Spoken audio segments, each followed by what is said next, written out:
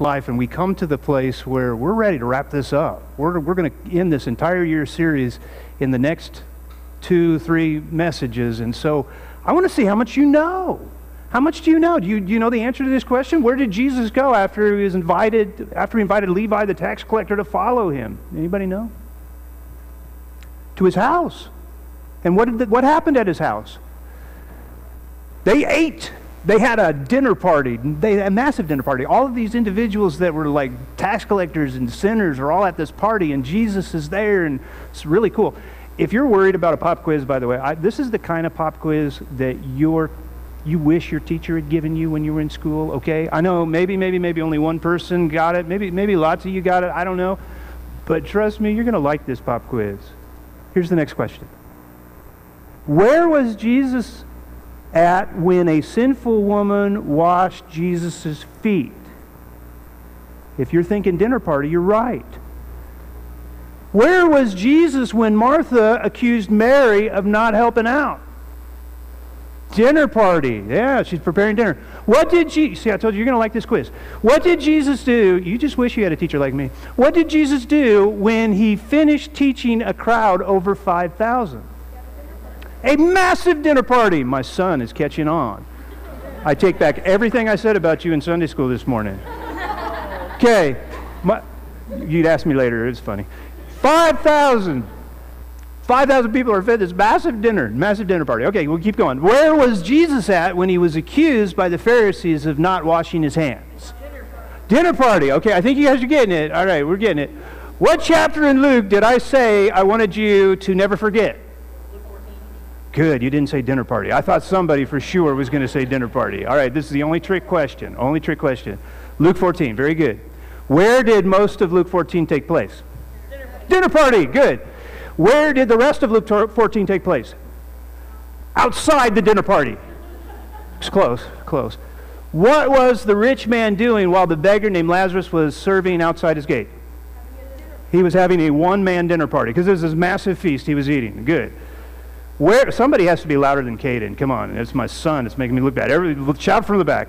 Where was Lazarus ushered to by the angels after he died? You're like, he was ushered by angels. Where? Yeah, it was a dinner party in heaven. Come on, I told you you could get this. You could get this.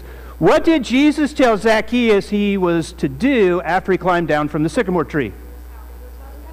Throw, go to his house and throw a dinner party. Still, my son is beating all of you guys. Come on. What will we be doing right after service today? Okay, yes. I hope you I hope you realize that. We have this massive Thanksgiving meal and it's going to be really cool. All right, so you you my son passed the pop quiz. The rest of you will I'll turn in your grades later. You'll see.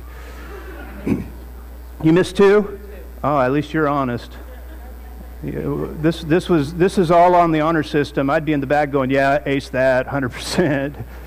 So, this dinner party thing, having uh, people around your table seems to be a big deal to Jesus, doesn't it? It does.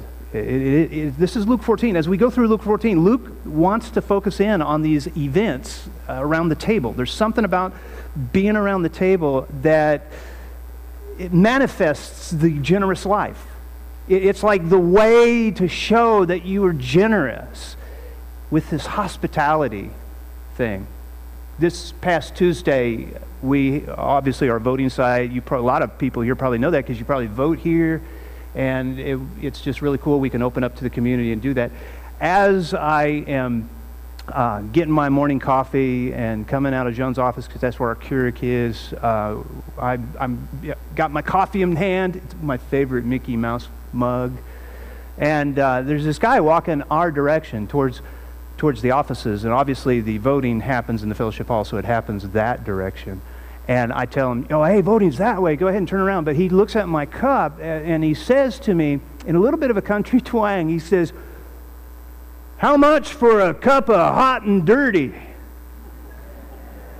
I, I'd never, I'd never thought of calling coffee hot and dirty, but I figured that's what he was talking about. So I said, Hey, you want a cup of coffee? I, will make you a cup of coffee. And I said, How do you like it? He looked at me and he said, Hot and dirty. I took that to mean black and strong. So I went to make him black and strong coffee. And I told him, hey, go, go ahead and vote. I'll have it here when you come back. What I should have done was told him who to vote for. I, that's, that's worth a cup of coffee, isn't it? No, I wouldn't, I wouldn't do that. I wouldn't tell you if I did anyway.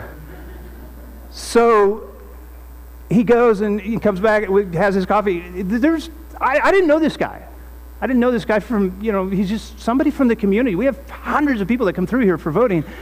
And yet there's this little connection made. I like this guy. I mean, I, I imagine that maybe next year he's, he's going to like coming to vote here. He's probably going to seek me out so we can share some hot and dirty together again next year. Uh, maybe he'll come to church sometime. Who knows, right? There's, there's like connections that can be made around the table, and there's something about the table. Now, it doesn't, it, it's not just that when we go to somebody's table or we invite them to our table, but it could happen when we're taking the potatoes we've been collecting and handing them out at our food pantry to people that are in need. There's connection that is made. And, and you, you, there's something about that, right? When we gather together and we're going to eat together and we sit down and maybe we sit down with a newer family because we want to get to know them, or somebody we haven't seen in a long time, we want to get caught up. There's something intimate about a meal, isn't it? And it's what Jesus seems to want to teach us, not just in the words he says at the meal, because those the lessons he has around the table are absolutely amazing. We've been spending this year looking at them, a lot of them. I mean, everything we went through in the pop quiz, we've talked about together. And, and I don't know if you've noticed it along the way. I tried to point it out. You know, here we are around the table again, but it's everywhere. It's important to Jesus. It should be important to you and me as well. So, not last week, because last week we talked about the persecuted church. We paused and, and talked about the need to pray for those that are persecuted around the world. If you didn't get a sheet, to pray for a country. Each one of us took a country. Hope you did, and, and are praying for that country. My country is Somalia. I've been praying for Somalia. There's persecution going on there like crazy. There are sheets on the Welcome Center. You just grab one of those and pray for a country for the next couple of weeks. Just, just challenge yourself to do that, to get outside of your own prayer needs, own prayer requests. So that was last week. Before that, we did this mini series called Scarier Than a Movie, and it was that time period as Jesus approached the cross. So we're still in Luke. We've been in Luke all year. It was that time period where Jesus was approaching the cross and he was talking about some scary stuff like the day of the Lord and the judgment and Spencer finished up that series. He did a great job talking about the scariest thing ever, and that is crucifying Jesus. That the people actually cried out for his death, God's son's death. They didn't just cry out for it, they argued with Pilate to crucify him, saying, Let his blood be on us and our children. I mean, there's nothing scarier than to rebel against God if we believe in the consequences of our choice, whether to choose to follow him or not follow him in our life, because it affects our eternal life. So that's where we were two weeks ago. And so we're at the resurrection today. This is Jesus raising from the dead. I want to pick up, though, after where we often go for Easter time is the two, or the three women, Mary Magdalene, the other two, at the tomb. I want to go a little past that to these two individuals who are leaving Jerusalem and heading to their home. It's a small village outside of Jerusalem, about seven miles, called Emmaus. I want to talk about those two individuals and the interaction that Jesus has with them. So here is where we begin. Now, that same day, and that day is the day Jesus rose from the grave, so it's, it's what we would call like the first Easter, right? That same day, two of them, this is in the Greek written in the masculine form, which is fine because it could be two men, but it's very possible, and I just want to put the idea in your head. It really does not matter, but it's just my opinion that these two individuals could be husband and wife because they use the masculine to talk about a couple. So it's very possible, and you'll see reasons why I might say that along the way. Again, that is only trivia and not really that important.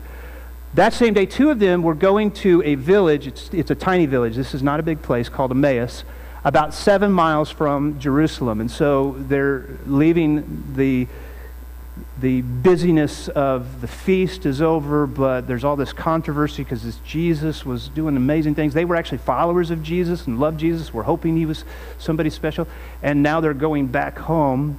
And along the way, they were talking with each other about everything that had happened, including the the rumors that the women said that they saw Jesus, or, you know, the, the angel said that Jesus had risen from the dead. As they talked and discussed these things with each other, Jesus himself came up and walked along with them, which means he's heading in the same direction. He's leaving Jerusalem, walked up from behind them. They didn't notice because they were engrossed in their conversation. All of a sudden, he's next to them.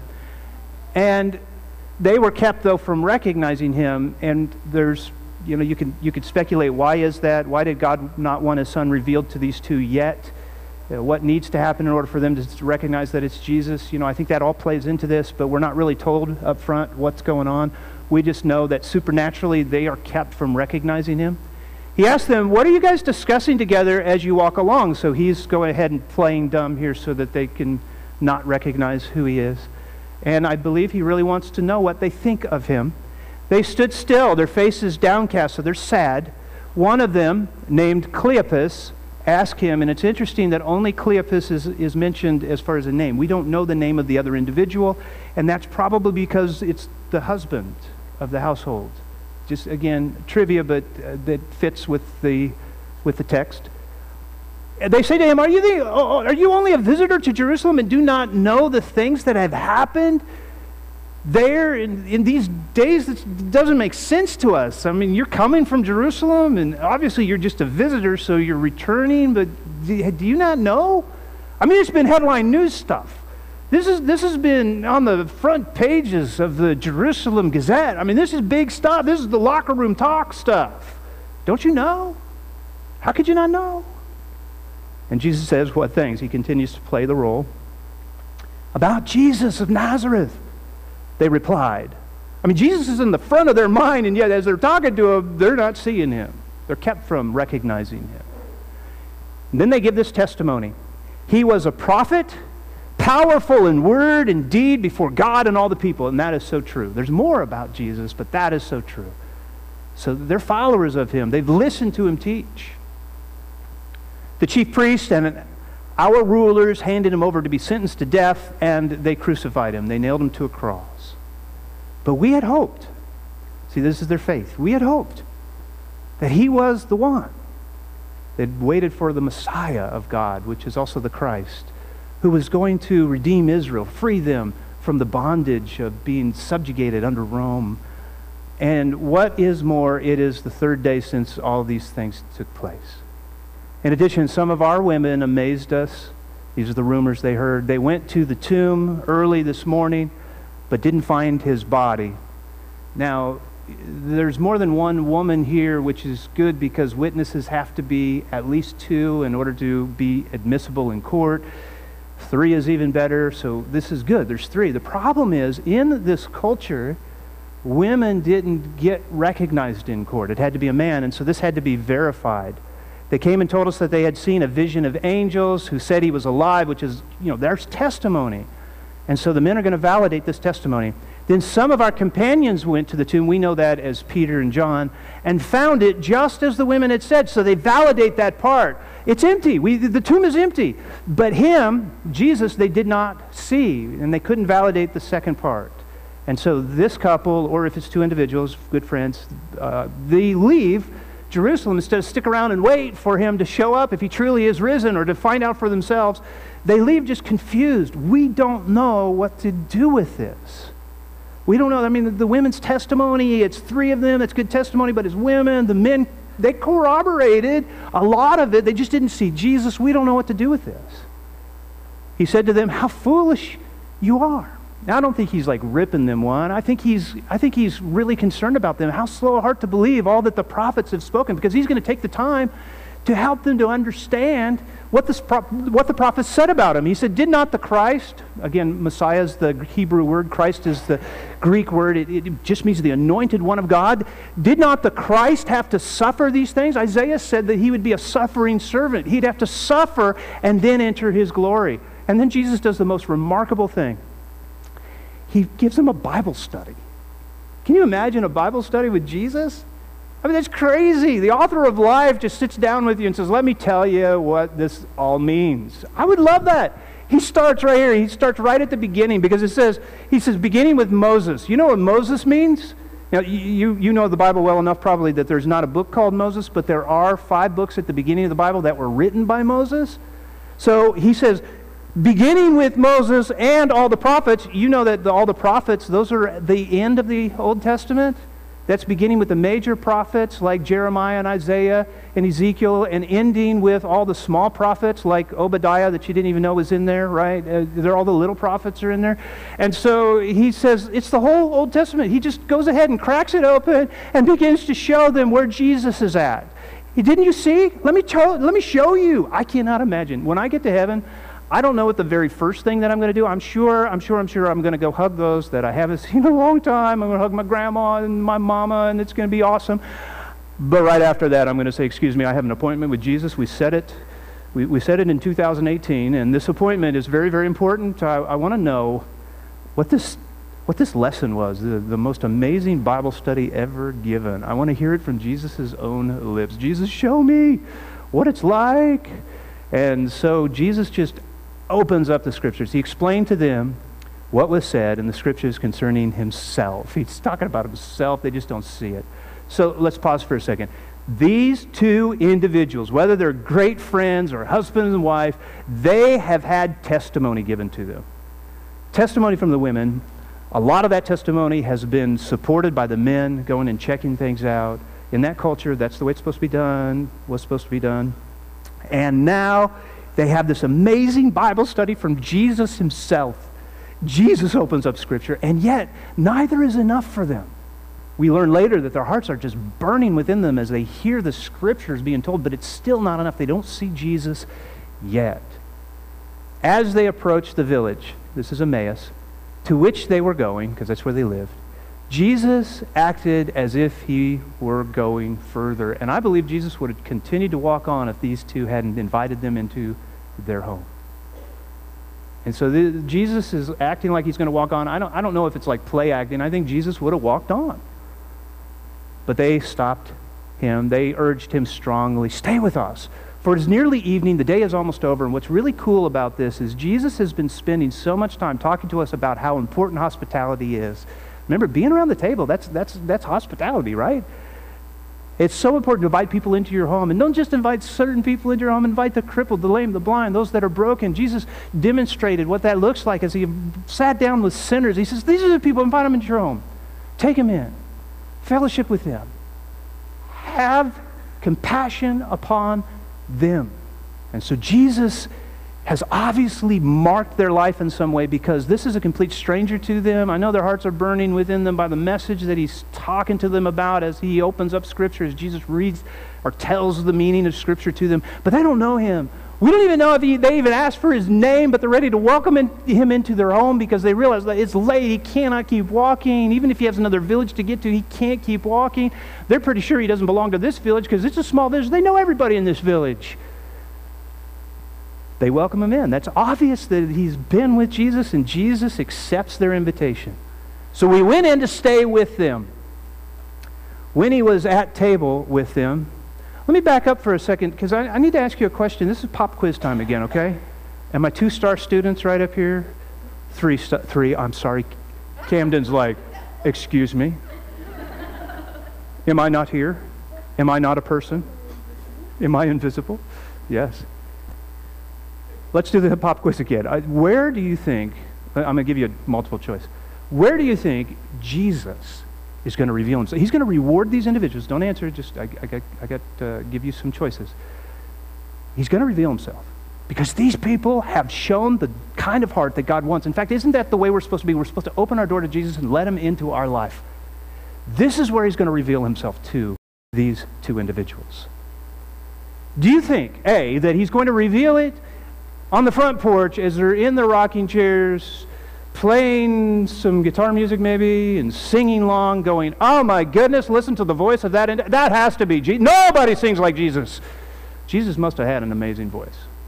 I mean, if Jesus sang, he's got to have an amazing voice. Do you think it was on the front porch? Or B, do you think it was around the fireplace as they're sitting around the fireplace telling stories to each other of their childhood? They're kicking back with their feet up on the hearth and they're, they're, they're reminiscing. And, and Jesus just goes into this long yarn about, You know, when I was seven, my parents just left me in the temple, and I was there for three days, and I thought maybe they didn't even care about me, but I was just talking it up with the religious leaders, and they're like, wow, that is just amazing. You are an amazing child. Wait a second, Jesus told that story to us. You're Jesus! Or C, do you think it was around the dinner table? Possibly. What do you think? What? Oh, you didn't even want to talk about it a little bit? No, you're just going to go with C, the dinner table. Yeah, especially since I already showed the verse. I have no self discipline with this thing. All right, here we go. When he was at the table with them, at the table, he took bread and gave thanks and he broke it. That is the customary way to give blessing in the Jewish culture. You take the bread, every meal had bread, it was a staple of their diet. You took bread and you gave thanks and you broke it. If you remember when Jesus fed the 5,000, that's exactly what he did. He picked up the bread, he gave thanks, he broke it and gave it to his apostles, who then broke it further and gave it to the groups of 50 and hundreds, and it began to multiply. It's just absolutely amazing. This is the grace. This is how they did this is how they gave the blessing over the meal. What is really weird though is that the person who's supposed to be the guest, Jesus, is the one who's taking the role of host here. Cleopas should be the one that gives thanks, gives the blessing, and breaks the bread.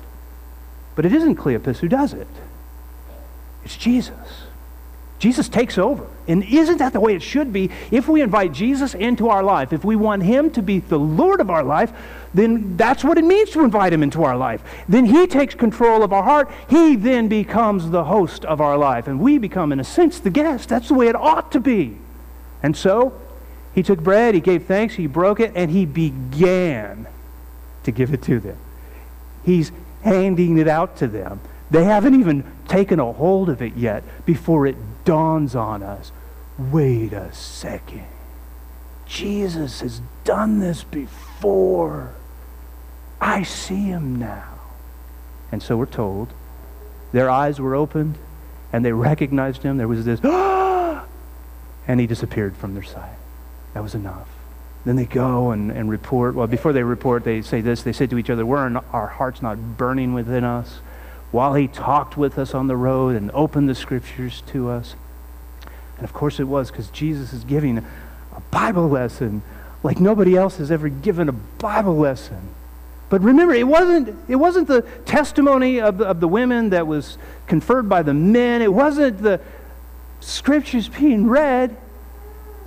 It was Jesus at table handing them the broken bread. It was in that moment. There's something about this table, this fellowship, this hospitality thing. In fact, you could say the table represents generosity. And we've seen this over and over again throughout the Bible. We just may have not been paying attention to it. God often spreads a table to show his grace. It's not just a place where we say grace, it's where God demonstrates grace to us. In fact, remember David as he's describing the, the hand of God that is blessing our lives, that is, that is on our lives. He describes it to himself and then shares it with us that this is, should be our experience. And he puts it this way in the most famous of his writings, Psalm 23, that he prepares a table before us in the presence of our enemies. Can you imagine that? He sets out a table for us to sit down and dine while we are in the midst of our trial and our struggle. And while we are there, and we, we have bills and we have worry and we, we, we have relationship issues and we don't know how we're going to get past these health concerns and we're worried for our mom's health and we've got all these needs. He places this table before us and he, and he pours on us oil, and the oil overflows, and our cup is so filled with all that is good. That's the description that he gives. And Jesus models for us in this life as he walked along this world, in this world. He modeled for us what it looked like to sit down with those who are broken, sit down with those who are sin filled, sit down with those who the rest of society treated as a pariah. You don't want to have anything to do with them, Jesus. Those are the people that are, yeah, they're into, no, Jesus. And Jesus said, no, no, no.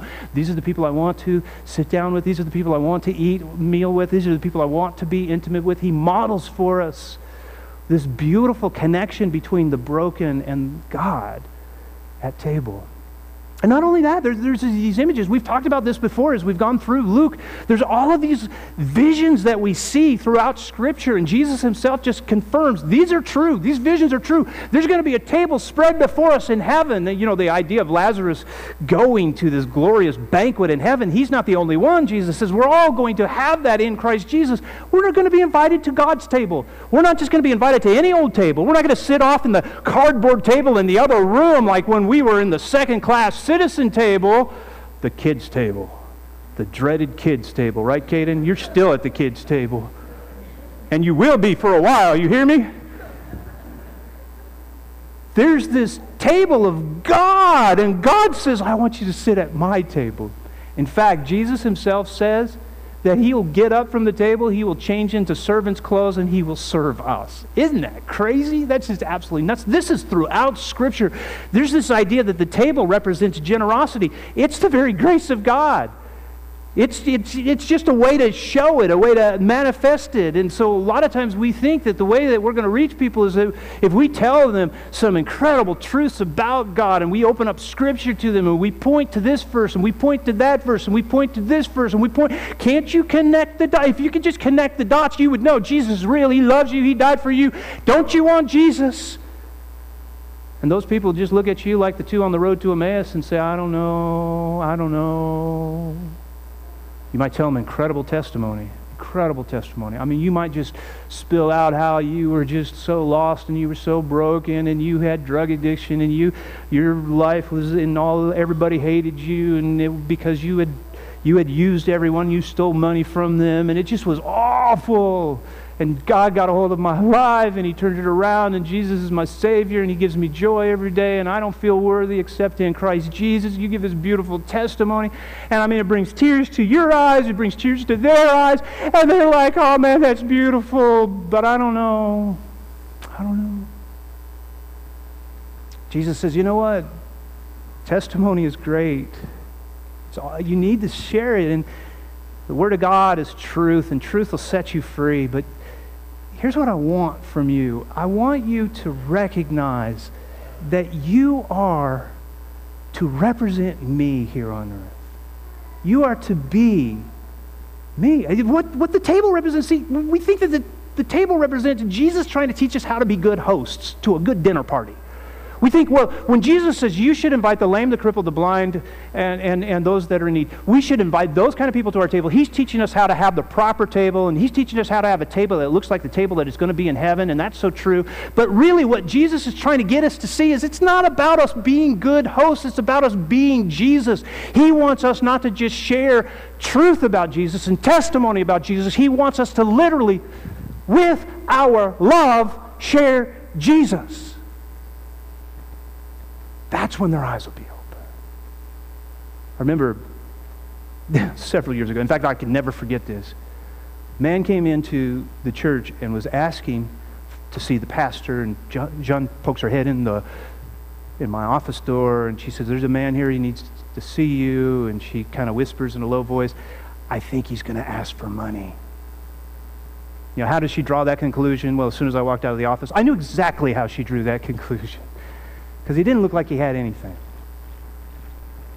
I have to admit to you, and this is only fair for you to know, that I did not get up out of my chair immediately. And I didn't have like this incredible exuberant joy, like, oh boy, I get to go help somebody. I know you have this idea that pastors always have their compassion tanks full. That is so wrong. There are days where I just do not want to love you. Is that okay? There are some days, Julie, ministry is messy. We've been saying that for 13 years together, haven't we? Yep. There are times where I just don't want to deal with it. And here's the reality I have been doing this for so long. I have seen so many who have need, and, and I've heard so many stories, and some of those stories, oh, they're heart wrenching, and some of their stories are just flat out lies. Sometimes it's hard to tell the difference. And I have been taken before. Angie and I used to live on a pretty busy highway right next to a little country church. And the downside to having a parsonage next to a church, well, first of all, we, we had uh, a cemetery that surrounded our backside and surrounded the other side of the church. And so I always tell people we had the best neighbors. They were so quiet. But being where we were on a busy highway meant we would get knocks on the door at all hours of the night with people in need. And so we've heard lots and lots of stories. And some of those, you know, you just like, uh, you got to verify it if you can. You know, you got to be good stewards of the church's money. And we try to verify, and, you know, some of them just didn't pan out because they were taking us or trying to. And I know in some cases we were taken, in other cases we stopped it before we were, but and, and I know that's happened to all of us. I mean, you see the person on the side of the road, you can't help but have compassion for. You should, and sometimes you help, and you're just like, I know they're going to spend that on alcohol, and I don't know what else to do, and so. You know, uh, when somebody comes in and says, "Hey, I have a need," I, I'm not, I'm not automatically just like my tank is full. I'm ready to just pour out all this compassion. So I kind of just saunter out there like, I got to hear his story because what if it's real? What if it's true this time? And sometimes it is. I got to hear his story. And I, I met the man, and a nice man, a, a shorter man, and, and sat down at the table, and we just started talking. And I was amazed because his story was pretty short. I thought I was going to hear this long, drawn out tale because it usually goes on. I mean, you're talking 20, 30 minutes at times. And what's also amazing, you ought to know this, some of the stories are like identical, which means there are people out there that pass along stories to others, like, hey, this one worked for me. You ought to give them this story. Isn't that sad? It kind of makes you, it, kind of makes you a little rough on the edges, which is not the way we're supposed to be. And yet, this guy just told his story, and it was quick, it was short, and I just was like, oh, we're done already? And I just looked at him because I think I missed something in that story. I, I just looked at him like, um, so, what is it you need? What do you want? And he looked at me, he said, Honestly, I just want a hot meal. It's been a long time since I've had a hot meal. All of a sudden, my inside, everything changed. I'm like, Is that all you want? I said, Let's go.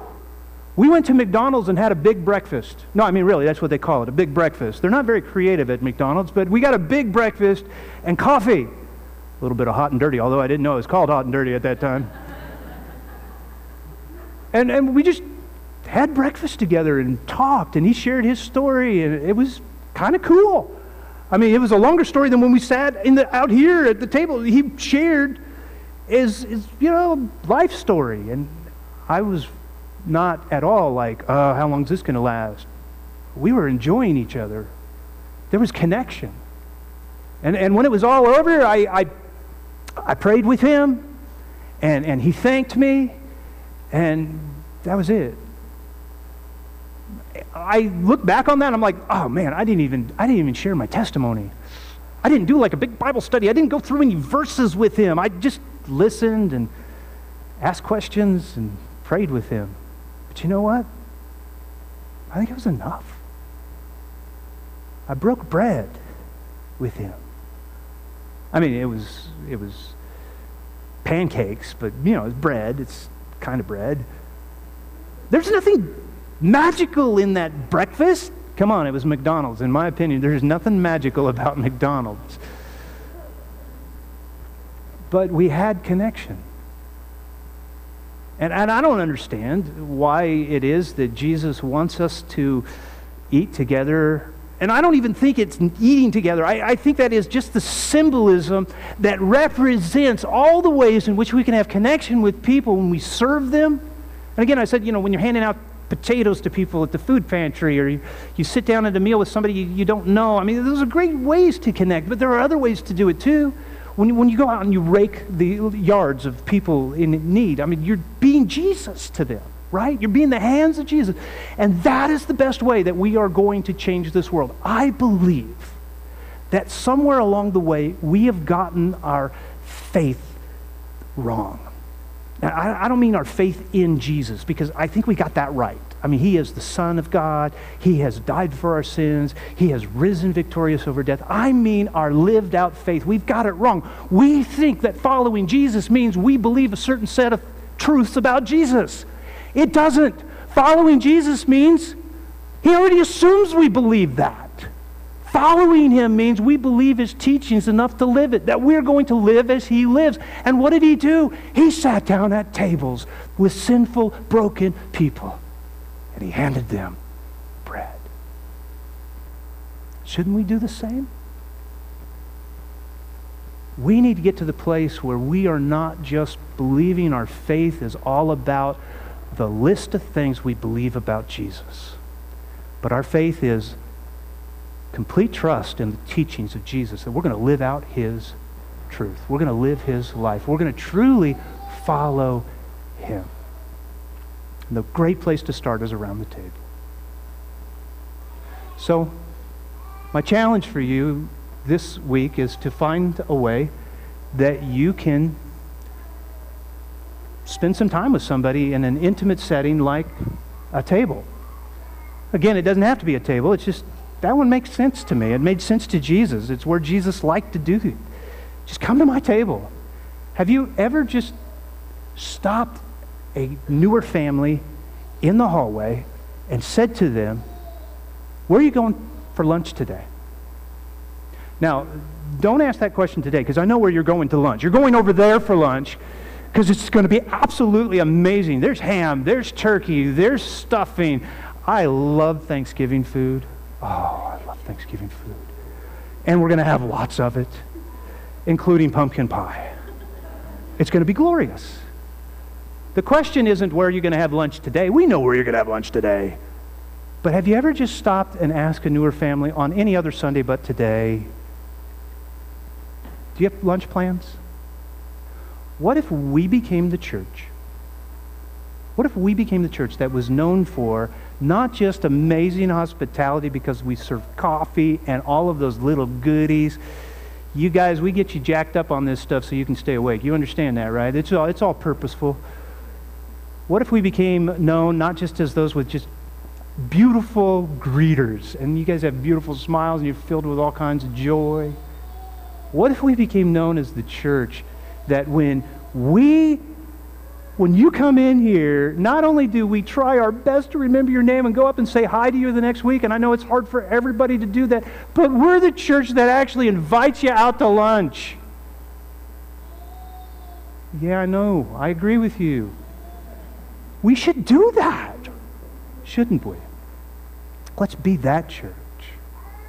All right, here's what we got to do we need to offer an invitation because you may be sitting there thinking, all right, Jesus is, is, is come into this world and, and sits down with sinners, but you don't understand what I have dealt with. Listen, Jesus would sit down with you in a heartbeat. In fact, he'd bypass the rest of our tables and find yours and sit down. He would look at the, around the room and he would go, okay, who is it that is most broken right now? Isn't it the opposite of what we do? He would look for the most broken person in the room. And maybe it's a secret thing. You're not sharing with anybody what you've done or what you're thinking about or what you're broken with. He would sit down at your table. And you'd be like, oh, he's at my table. I must be the worst one in the room. but you also ought to be like, oh, wow, he still loves me. That's cool. That's awesome. I want to give you an invitation. The invitation is that you could come up here and just give your life to Jesus. An invitation just means it's your invitation to just surrender your life to Jesus. Give it to Jesus. Now, there's other things that I invite you to do. There's a yellow card, and on that card, there are things for you to check. If you've been thinking about, oh, I just don't know, I want to talk to Jeff privately about this before I go forward, that's where you check that. I look at each one of those cards each week. You check, I want to talk about a relationship with you. I want to talk about baptism. I, I really want to talk about membership. What, is, what does that involve? Check those things, and then I'll get with you this week. And we'll, we'll talk. Maybe you've done that, and we've met, and you're ready to come forward and give your life, or you just, you got to do it today. You just feel God pulling on you today. You just do it. This is your invitation. So I'm going to invite you to come as we sing. We're going to stand. I'm going to pray. Father God, we're asking for you to continue to move among us this morning, to continue to pull us towards you and let us know that you're the one that hands out the bread. You're the one that offers the invitation. You're the one that gives yourself to us. You're an awesome, awesome God. Father, I pray for decisions today, and I pray that you'll be glorified in them. Pray for whatever people are struggling with as well, that you will be the answer to that, and that they will know that you don't just show up to share bread, you show up to share life. We ask for this in Jesus' name. Amen. If you have a decision this morning, come.